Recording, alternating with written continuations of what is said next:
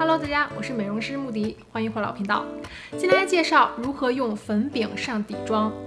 这个方法可以拯救你不好用、特别厚重的粉饼，粉感比较重的、颗粒比较强的、遮瑕很高的粉饼，我保证你一天下来都不会脱妆，不会卡粉斑驳，遇到潮湿的天气、很热流汗的状态也不会土石流。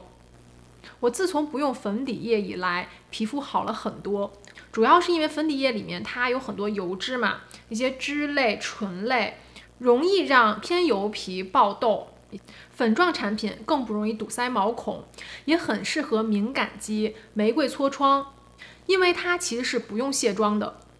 除了那种高遮瑕的，像 Make Up Forever 啊，更软糯那种粉饼，甚至像膏状的那种。他们可能需要用卸妆力比较强的洗面奶，那普通粉饼还有矿物粉饼是完全不用卸妆产品的，普通洗面奶就可以洗干净。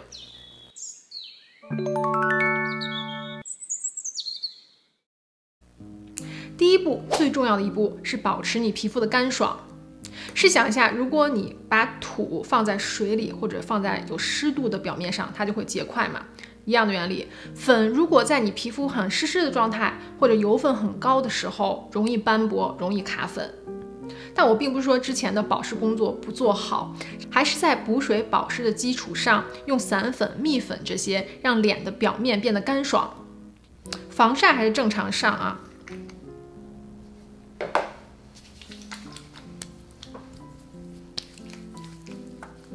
脖子也不能忘，锁骨。防晒等待个一到两分钟，让它吸收之后，我们就可以涂散粉了。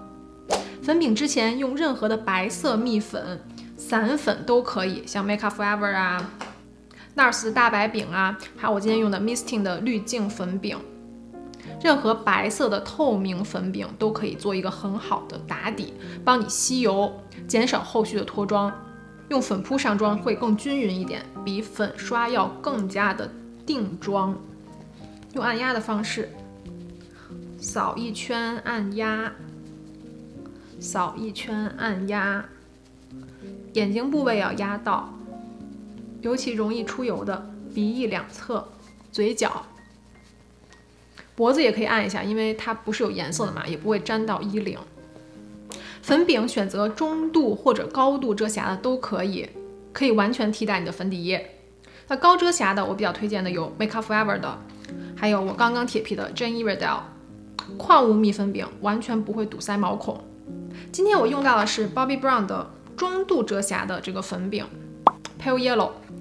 这个粉饼呢，很多人说它容易浮粉，粉比较厚，不太容易铺均匀。那我想说你是没有找到方法。重点是六个字：平铺均匀上粉。用到的工具就是粉底刷啦。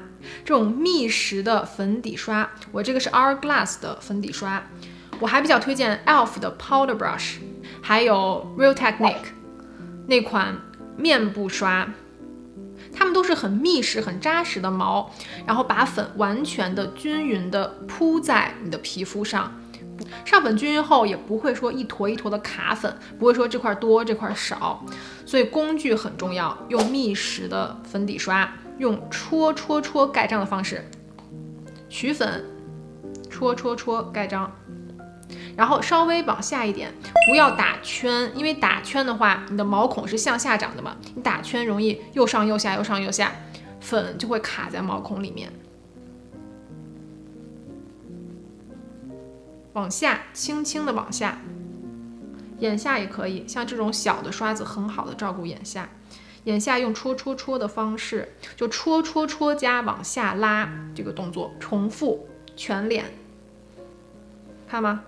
这边已经遮瑕度出来了，然后鼻头也是戳戳戳，鼻头是更加适合戳戳戳，因为鼻头上的毛孔会更大一点。平铺粉，均匀上粉，一定不要打圈哈。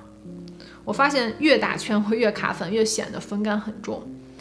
你看这样，我近距离看是没有一点点粉痕的。这半边脸的遮瑕度也出来了，对比这边。我只轻轻铺了一层哦，你还可以多次叠加。好，刚上完粉饼可能会皮肤有点白，一会儿我们上完修容和腮红就不会这么明显了。如果你觉得局部区域有痘痘地方你还想遮呢，你可以用一个高遮瑕粉饼，比如 Make Up Forever，还有我刚才这个 Jenny Riddle，轻轻的用手按在需要遮瑕的地方，蘸一蘸粉，用手蘸粉，然后按在遮瑕地方。用你刚才的粉饼也可以，就任何粉饼你觉得有遮瑕的粉饼。好，鼻翼两侧。用手蘸粉按在这些区域，所以全程你都是可以不用膏体和液体的。好，你以为这样就结束了吗？No No No，最后一定要定妆，用刚才上的蜜粉饼再定一遍妆，因为粉饼其实是和皮肤融合度比较低的，它是粉嘛，它覆盖在皮肤上，它很容易移位的。如果你不定妆呢，一会儿等出油了，可能会有浮妆、浮粉或者斑驳的情况。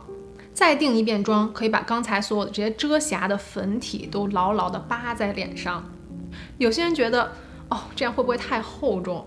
相信我，过个半小时、一个小时之后，你的皮肤就像第二层肌肤一样，完全没有任何粉痕，没有粉感了。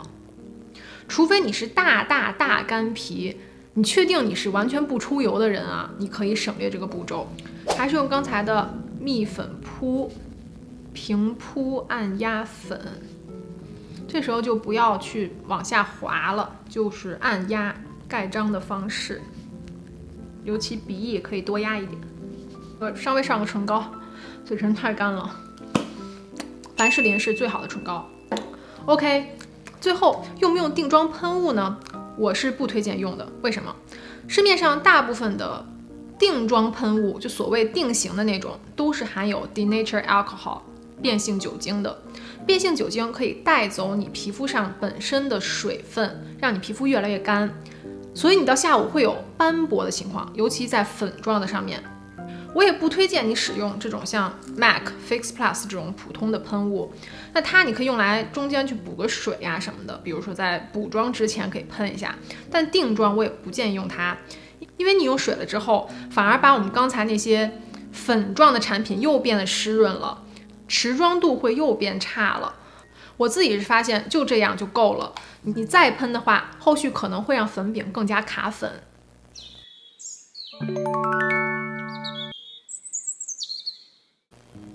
我们不用吸油纸了，我们就用普通的面巾纸，任何的纸巾，因为吸油纸会吸掉皮肤更多的油分嘛。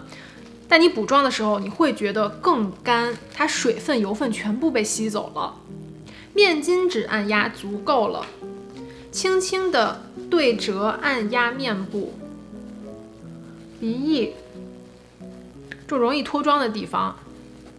然后用你自带的粉扑，粉饼里面自带粉扑都可以，按压粉，按压啊，注意不要打圈，按压粉，然后把多余的粉放在手背上，按压粉放在手背上，然后再按压面部，记住一定要按压啊，不要上下移动，因为这时候我们皮肤上还是会有油脂分布不均匀嘛，你上下移动的话，可能会把其他的油分拖到这里，所以它就会结块，会斑驳。我比较喜欢这种有颜色的粉饼去补妆，因为你可以补到你的像鼻翼处啊、嘴角处啊已经脱妆的位置。如果透明粉饼呢，它可能遮瑕力就没有那么好。那总结一下，我们上粉最重要的就是皮肤要有一个干爽的表面，不管你是上妆也好，补妆也好，粉要压在粉上，粉不可以压在潮湿的表面。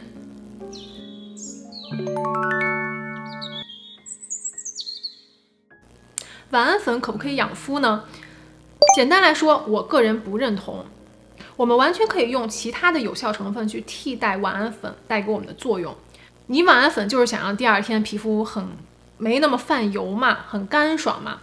水杨酸、果酸、A 醇、A 酸完全可以做到。它们有更多的科学实验文献去支持。至于蜜粉能不能有效的控油，同时又不堵塞毛孔，这一点是因人而异的。因为蜜粉饼通常里面有各种其他的成分，油脂啊、脂类、醇类啊，其实都是有放的，不是只含有啊粉、滑石粉颗粒这么简单的。那不同肤质对不同的成分是容易产生爆痘的，所以会不会爆痘是因人而异的。所以为什么我不用这些已经有结论的护肤成分去控油呢？好，希望这个视频对今夏用粉饼的你们有帮助。喜欢不要忘记点赞、关注、订阅我的频道、开启小铃铛。我们下期见，拜。